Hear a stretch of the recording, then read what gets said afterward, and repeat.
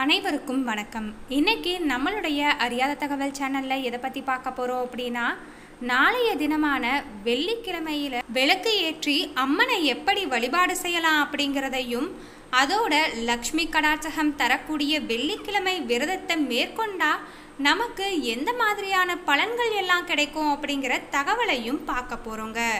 இந்த வீடியோ உங்களுக்கு ரொம்பவே பயனுள்ளதாகவும் சுவாரஸ்யமானதாகவும் இருக்கும். ஸோ வீடியோவை கடைசி வரைக்கும் ஸ்கிப் பண்ணாமல் முழுமையாக பாருங்கள் இதுக்கு முன்னாடி நீங்கள் இன்னும் நம்மளுடைய அறியாத தகவல் சேனலை சப்ஸ்கிரைப் பண்ணலன்னா கீழே இருக்கக்கூடிய ரெட் கலர் பட்டனை ப்ரெஸ் பண்ணி சப்ஸ்கிரைப் பண்ணிடுங்க. அப்படியே பக்கத்தில் இருக்கக்கூடிய நோட்டிஃபிகேஷனுக்கான பெல் ஐக்கானையும் மறக்காமல் கிளிக் பண்ணிடுங்க. வாங்க வீடியோக்குள்ளே போகலாம்.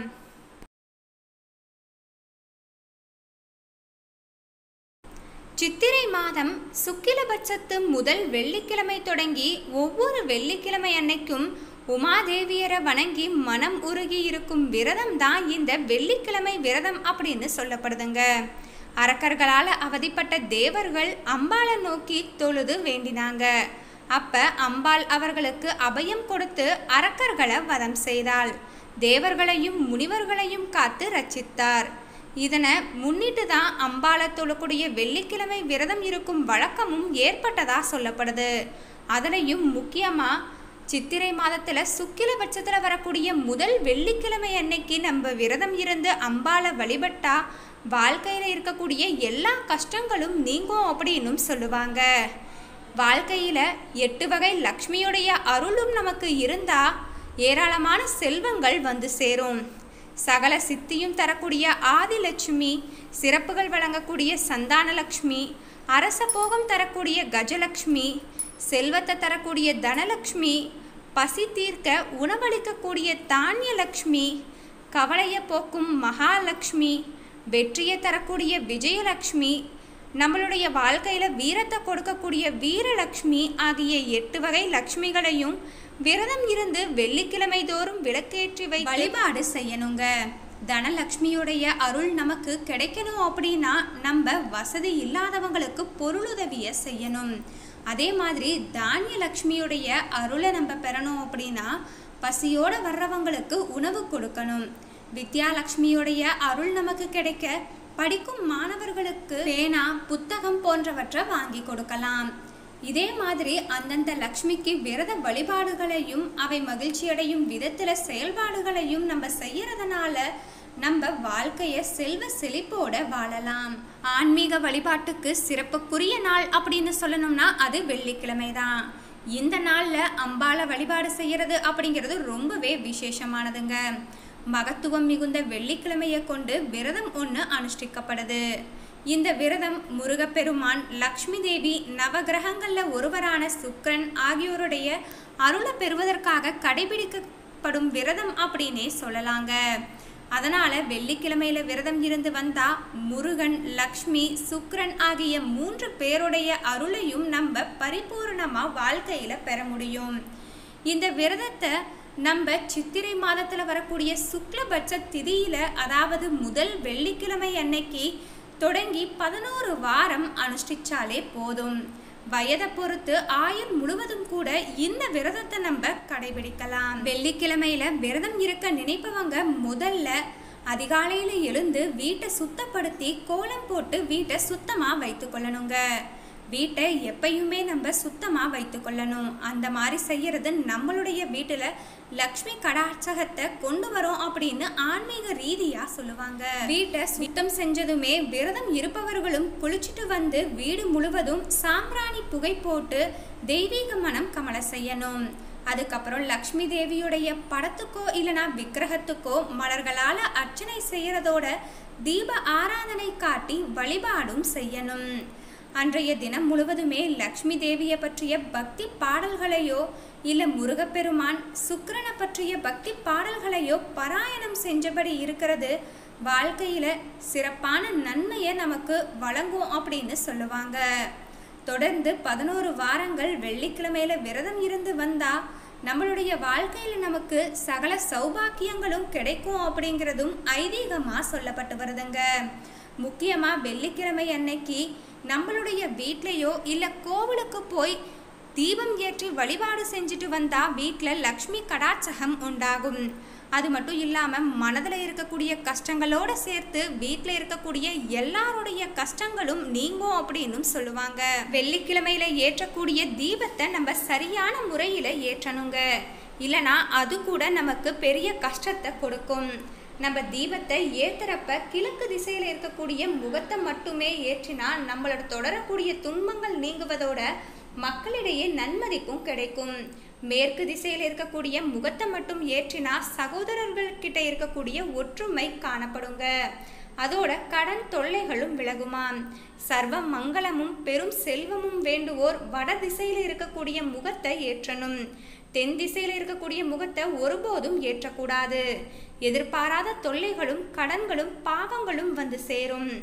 அது மட்டும் இல்லாமல் நம்ம தீபம் ஏற்றும் போது திரிகளை வைத்து தான் தீபத்தை ஏற்றுவோம். அப்படி நம்ம எந்த திரியை பயன்படுத்துகிறோமோ அதுக்கு ஏற்ற பலன்களும் நமக்கு கிடைக்கும். முதலாவதா பஞ்சுத்திரி. சுகங்களை கூட்டும் தன்மை கொண்டது தான் இந்த பஞ்சுத்திரி. தாமரை தண்டு திரி அப்படின்னு கூட சொல்லுவாங்க. முற்பிறவியுடைய பாவங்களை அகற்றி செல்வத்தை தக்க வைத்து கொள்ள வேணும் அப்படின்னா நம்ம இந்த தாமரை தண்டு திரி போட்டு விளக்கு ஏற்றலாங்க அடுத்தது மழலை பேரில்லையே அப்படின்னு ஏங்குவோர்கள் அதாவது குழந்தை பேர் இல்லாமல் ஏங்குறவங்க வாழைத்தண்டு திரி போட்டு அம்மனுக்கு விளக்கு ஏற்றணும். வெள்ளருக்கு பட்டை திரி இதை ஏற்றணும் அப்படின்னா செய்வினைகள் நீங்கும் அப்படின்னும் சொல்லப்படுது.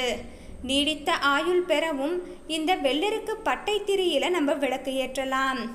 முழுமுதற் கடவுளான கணேச பெருமானுக்கு உகந்ததா இந்த வெள்ளருக்கு பட்டை திரியானது சொல்லப்படுதுங்க. தம்பதிகள் மனமுத்து வாழவும் மகப்பேறு பெறவும் மஞ்சள் நிறம் கொண்ட புதிய திரி போட்டு நம்ம விளக்கு ஏற்றலாம். பொதுவாகவே விளக்கு வழிபாடு அப்படிங்கிறது நம்மளுடைய அன்றாட வாழ்க்கையில மிக முக்கியமான இடத்தை பெறுது. இதனால நம்மளுடைய வீட்டுக்கு தெய்வீக பேரொளியும் லக்ஷ்மி கடாட்சகமும் ஒரு சேர வருவதா ஐதீகம். பெண்கள் வெள்ளிக்கிழமையில காலையில எழுந்ததுமே விளக்கு ஏத்தி இஷ்ட தெய்வத்தை வழிபட்டு அதுக்கப்புறம் தான் அன்றைய வேலைகளை செய்ய தொடங்குவாங்க. அப்படி செய்யறப்ப மனதில் ஒருவித உற்சாகமும் செயலில் ஒருவித உத்வேகமும் பிறக்கும். புராண இதிகாச காலங்களில் நம்மளுடைய மகரிஷிகள் யாகங்களையும் ஹோமங்களையும் செஞ்சு இறைவனை வழிபாடு செஞ்சாங்க. இப்போ இதுவே எளிமையாக்கப்பட்டு சகலரும் தங்களுடைய அன்றாட வாழ்க்கையில் கடைபிடிக்கும் விதமாக விளக்கு வழிபாடு திருவிளக்கு பூஜையும் செய்யப்படுதுங்க. இறைவனை ஜோதி வடிவில் வழிபாடு செய்யறதுனால மனித வாழ்க்கை தூய்மையும் தெய்வத்தன்மையும் பெருகுது. காஷ்மிக் பவர் அப்படின்னு சொல்லப்படக்கூடிய பிரபஞ்ச சக்தியை நமக்கு பெற்றுத்தரக்கூடிய சிறிய வடிவிலான ஆண்டனா அப்படின்னு கூட நம்ம தீபத்தை சொல்லலாம். விளக்கு வழிபாடு அப்படிங்கிறது சுற்றுப்புற இருளை போக்குவதோட மனதுடைய இருளையும் அகற்றும். விளக்கின் சுடரொளியில மகாலட்சுமியும் ஒளியில சரஸ்வதியும் வெப்பத்துல பார்வதியும் எழுந்தருளுவதா ஐதீகம் இருக்கு. இதனால தான் விளக்கு ஏற்றி இறை வழிபாடு செய்தா முப்பெரும் தேவியருடைய திருவருளையும் ஒன்றாக பெறலாம் அப்படின்னு சொல்லுவாங்க. விளக்குல பசுனை கொண்டு பஞ்சு திரி போட்டு விளக்கு ஏற்றுவது ரொம்பவே நல்லதுங்க. பசுனை தீபத்தில் அம்பாள் வாசம் செய்வதாக நம்பப்படுவதால அதை ஏற்றும் போது சிவமாகிய ஜோதியுடன் இணைந்து சிவசக்தி சொரூபமாகுது. விளக்கு வழிபாட்டை நம்ம தினந்தோறும் கடைபிடிக்கிறது ரொம்பவே நல்லது. இப்படி நம்ம தினந்தோறும் விளக்கு வழிபாட்டை கடைபிடிச்சோம் அப்படின்னா நம்மளுடைய வீடுகளில் தெய்வ வளம் பெருகும். இதனால் தீய சக்திகள் செய்வினைகள் திருஷ்டிகள் எதுவும் நம்ம வீட்டை அண்டாது அப்படின்னு கூட சொல்லுவாங்க. வெள்ளிக்கிழமை அன்னைக்கு வீட்டு வாசல்ல மாவால கோலம் இட்டு அதன் நடுவுல விளக்கை ஏற்றி வச்சு வீட்டு பூஜை அறைக்குள்ள அந்த விளக்கை கொண்டு வந்து வச்சா விளக்கோட மகாலட்சுமியும் வீட்டுக்கு வருவதா ஒரு ஐதீகம். வீடுகளில் காலை மாலை இரண்டு வேலைகள்லையும் விளக்கு ஏற்றுவது எல்லா மங்களங்களையும் தந்து வாழ்க்கையை ஒளிமயமாக்கும். பொதுவாக விளக்கு ஏற்றினா எண்ணெய் முழுவதும் தீர்ந்து தீபம் தானா அணையும் வர விளக்க விட்டுவிடக்கூடாது இது வீட்டுக்கு கெடுதல் அப்படின்னு கூட சொல்லுவாங்க.